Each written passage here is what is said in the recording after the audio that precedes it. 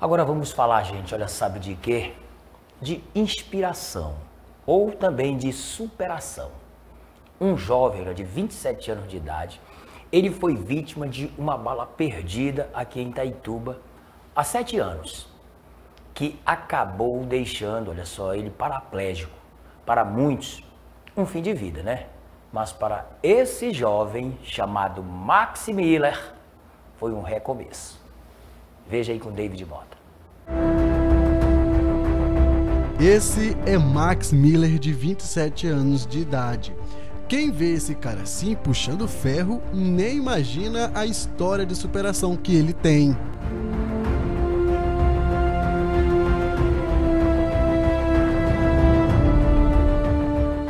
Mas essa história de superação de vida começa devido a uma tragédia.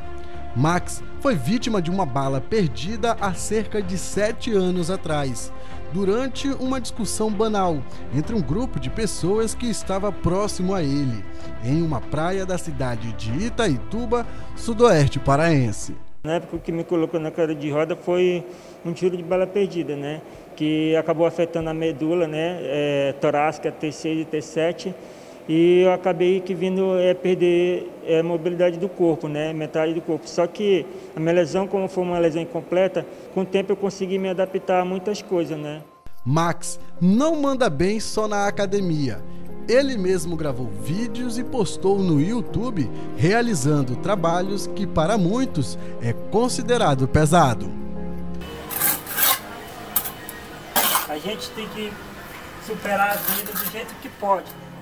E na tentativa de buscar uma melhor condição de vida, Max começou um trabalho de pesquisa sobre esportes e atividades que cadeirantes poderia praticar. E foi aí que ele conheceu a história de Fernando Fernandes, um atleta paralímpico brasileiro e desbravador dos esportes adaptados, atleta desde a infância. Eu assisti sobre um tema né, do Fernando Fernandes é uma inspiração para muita gente hoje em dia, né? Então, ele foi uma, da, uma das minhas inspirações, né? Até o presente momento.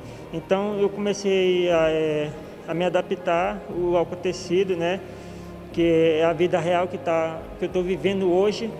E daí eu comecei a procurar melhoras. Mas infelizmente, muitos lugares ainda não disponibiliza a acessibilidade para as pessoas portadoras de deficiências físicas. E foi nessa academia que Max acabou encontrando uma maior disponibilidade e atenção dos proprietários e instrutores. A academia está aqui para suprir a necessidade de todas as pessoas na, na, no que se refere à parte de musculação, dança, é, jiu-jitsu, boxe, natação, pilates, tudo isso nós temos aqui. A questão toda é tipo assim, a grande procura são das pessoas que são normais, ditas normais. No caso específico do, do Max aí, ele me ligou, disse que já tinha procurado alguma da academia ou entrado em contato e não tinha conseguido a resposta. Eu me sensibilizando com a situação dele, disse que nós estávamos de porta aberta, que ele poderia vir, que nós daríamos a atenção necessária e devida dentro das nossas condições e possibilidades. De forma que ele veio, apresentei ele ao John Clay, que é um do, dos instrutores da academia, juntamente com o Sérgio, e pedi para que desse uma atenção especial a ele, até mesmo porque é um rapaz que necessita de atenções especiais. Mas, mesmo o Max sendo assim tão independente, toda a atividade dele é acompanhada de perto com muita atenção e cuidados dos instrutores da academia. Tem que dar até uma freada nele porque ele se torna tão independente que ele quer aumentar uma carga, quer fazer exercícios novos, que ele pesquisa muito no YouTube, Instagram, ele segue bastante pessoas que têm a mesma deficiência que ele. Aí a gente tem que sentar e conversar com ele. Falei, Max, vamos com calma.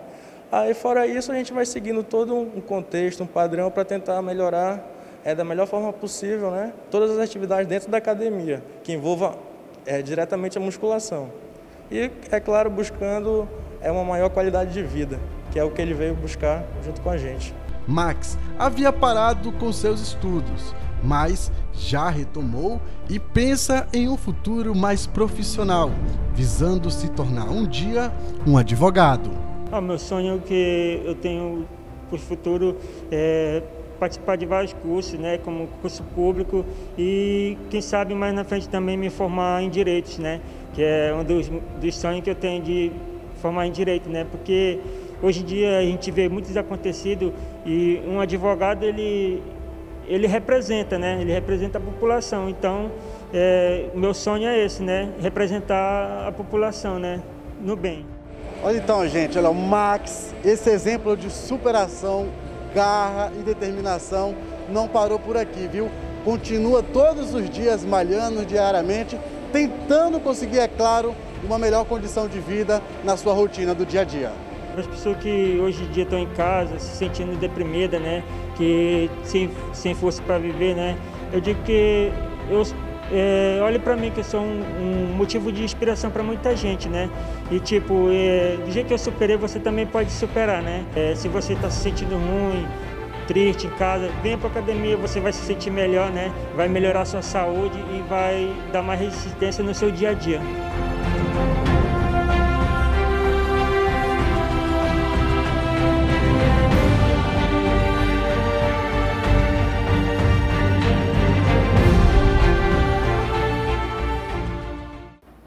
Esse é um exemplo de superação, né? Então tá aí o Max, eu tenho certeza que ele vai conseguir sim realizar seus sonhos, vai conseguir, entendeu? Os seus objetivos.